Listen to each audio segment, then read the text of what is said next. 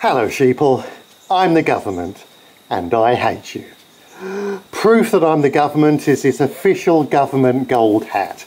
It's got this crest on it so let there, let there be no questioning of my credentials. It's obviously completely real.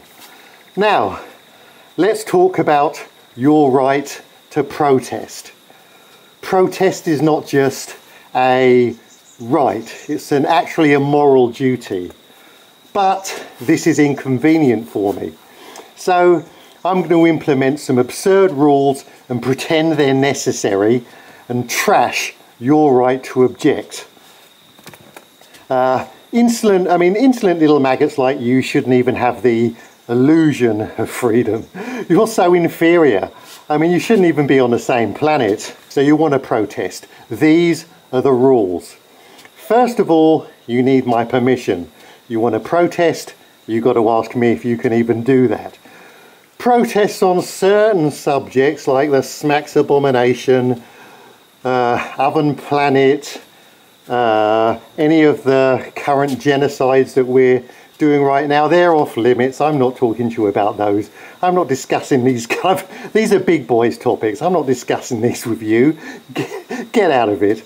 Um, now, I'm going to start implementing these rules with like pussy countries like, like France or Germany.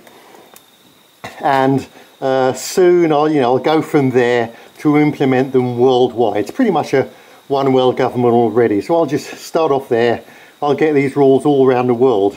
Even talks on certain agendas, let alone protests, forget it. They'll land your ass in jail even if your doctor advises you on something they believe is in your best interests, like, you know, like what they're supposed to.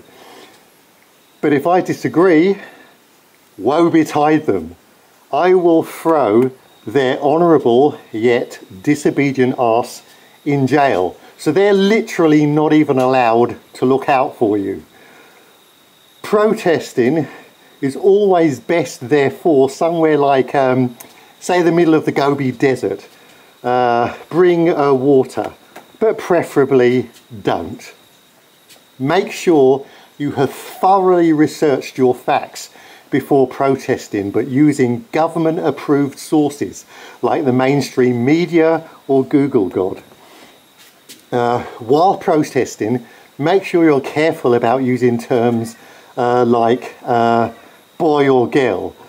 These are hateful terms. What the hell would an idiot like you know about sex or gender?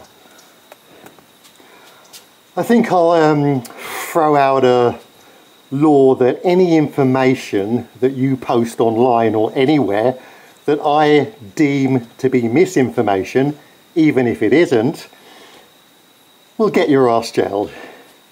And after I pass this law, I've decided that any misinformation, i.e. stuff that I don't like, that you've posted even before this law came into effect will still land your ass in jail. Think I'm joking? You got to remember, I'm the government. I don't like jokes. I don't like fun. I like pain. And last, but certainly not least, after I've lovingly considered all your pathetic moronic concerns, you need to arrive at a government approved conclusion. A government approved acceptable conclusion that's independently fact checked, which I hope you don't believe, independently fact checked. Failure to achieve this is illegal and your ass is mine. The moonlight fades with the morning glow. Be good. Goodbye, pathetic sheeple.